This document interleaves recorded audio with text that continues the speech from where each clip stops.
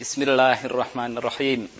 Assalamualaikum warahmatullahi wabarakatuh. Kaum muslimin yang dirahmati Allah Subhanahu wa taala. Alhamdulillahirabbil alamin.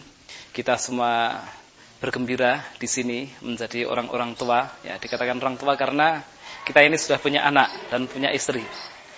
Terus kita perlu memiliki hal-hal yang perlu kita kerjakan setiap hari dan ringan tapi tidak membawa modal yang banyak. Tetapi itu perlu sekali. Apa itu? Di antaranya doa. Kadang-kadang kaum muslimin ini merasa pusing ya melihat anak-anaknya yang dendeng dibilangin, kemudian ibunya main cubit, ah, main keplak dan seterusnya. Itu sebenarnya tidak perlu cubit dan keplak. Tetapi kita memohon kepada zat yang memegang hatinya anak tersebut. Coba kita lihat dalam sebuah hadis yang diriwayatkan kita dapati dari kitab As-Sahihul Jami' nomor 3032 dari sahabat Anas bin Malik radhiyallahu taala anhu Nabi sallallahu alaihi wasallam bersabda "Thalathu ta'awatin la turaddu." Ada tiga doa yang orang yang berdoa dengannya tidak akan ditolak. Yaitu doa da'watul walidi liwaladihi.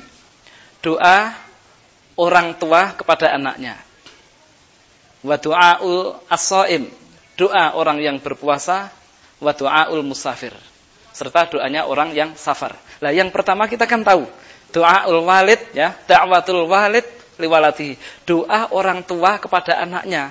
Maka ketika orang tua diperlihatkan oleh Allah Ta'ala tentang anaknya yang kurang ajar, agak dendeng, kandani bekunung dan seterusnya, maka si orang tua tidak perlu bersusah payah tidak perlu pusing-pusing. Dia memohon kepada Allah Subhanahu wa taala dan jangan sekali-kali berdoa yang buruk kepada anaknya. Awas, mampus lo. Jangan, jangan seperti itu ya. Jadi kita memang ternyata subhanallah di dalam Islam ini ada solusi yang tepat, harganya murah dan mudah, ringan, tetapi mustajab. Inilah hebatnya doa. Oleh karena itu kaum muslimin wal muslimat rahimani wa rahimakumullah tidak menutup kemungkinan jika kita sedang diuji oleh Allah Ta'ala akan kenakalan anak-anak.